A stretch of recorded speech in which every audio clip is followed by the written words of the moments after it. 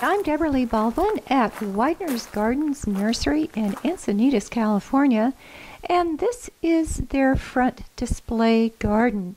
It runs along the parking lot in front of the nursery, and it is a perfect example of how you can combine succulents to create a lush, low water, easy care, low maintenance garden. Now, this mound was installed by Laura Eubanks. She did a demonstration at the nursery and then Sabine Hildebrand, who's their on staff succulent specialist, continued the garden along the street to the corner. Over by the Weidner sign, there is an agave desmettiana in bloom. So you can see that she's incorporated some of the plants that Laura used, more of the crushed red and black lava rock. And then coming down the dry creek bed, low growing Portulacaria afra variegata or the variegated elephant's food and aloes in bloom. You know, you can grow aloe vera. It's a great plant for your garden. It gives you those yellow flowers.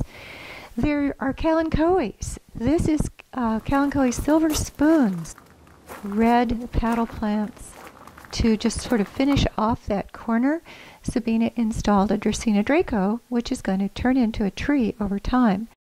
Also for height, sticks on fire, which lends color. Aeonium kiwi.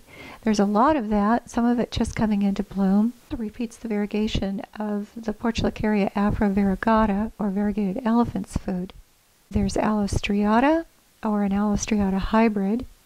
And they stay small and they give you those really wonderful bright pops of orange. There's a natural terminus for the dry creek bed. You know, so often it's hard to figure out how to make it look natural.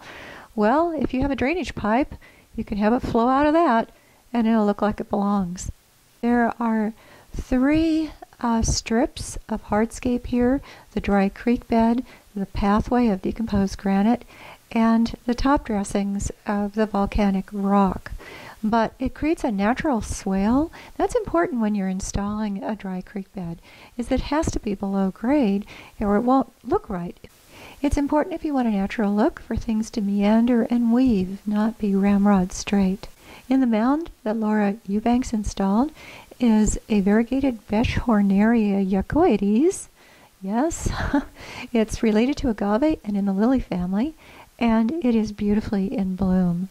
Crassulas, which do really well by the coast, are regular Crassula ovata or jade plant, ripple jade, yellow jade, tricolor jade, Gollum and hobbit jade, which have sort of tubular or spoon-shaped leaves. All of these plants are readily available. The nursery carries them, and you can see here that they combine beautifully to make an easy care, low maintenance, colorful, textural, garden. This is especially ideal for coastal maritime Southern California gardens. Some of these plants are frost tender, notably the crassulas and kalanchoes. So cover them if you need to if you live farther inland when frost is predicted. I've labeled the photos if you want to pause the video or you can find labeled photos on my website debraleebaldwin.com and of course, all these are described and shown in my books. I'm Debra Lee Baldwin at Weidner's Gardens in Encinitas, California.